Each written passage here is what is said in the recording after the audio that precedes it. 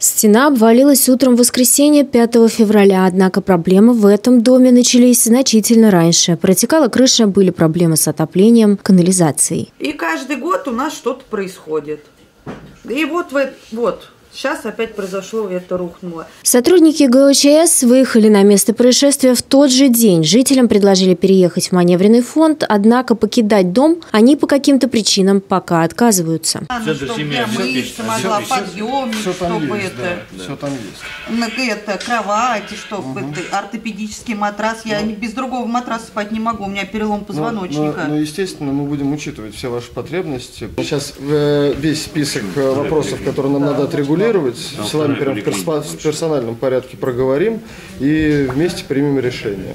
А так я еще раз говорю, мы совместно с э, межведомственной комиссией будем настаивать на э, переезде всех жильцов э, в маневренный фонд.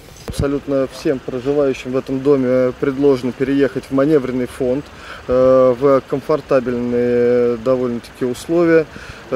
Пока что никто желания не изъявил. Сегодня персонально с каждым из проживающих будем еще отрабатывать совместно с специалистами управления ЖКХ города Рязань.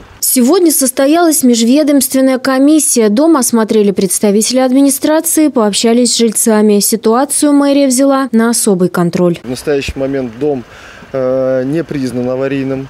Э, мы здесь собрались э, межведомственной комиссии, которая как раз-таки принимает решение о признании либо непризнании домов аварийных. В доме есть муниципальные квартиры, и администрация на правах собственника наняла экспертов, которые в течение трех дней предоставят заключение. Сегодня межведомственная комиссия э, экстренно выехала в этом полном составе вместе с экспертом. Эксперт будет делать заключение экспертное, еще не, необходимые тут э, будут проводиться э, при, приборные э, значит, наблюдения. Ну и я думаю, что 90 5% дом будет признан аварийным. Несмотря на отказ жителей уезжать из дома, специалисты проведут индивидуальные беседы, чтобы выяснить опасения жильцов и предложить каждому свое решение. Маневренный фонд для жильцов расположен по адресу Соборная, 23. Для маломобильных рязанцев предлагают размещение в центре семья.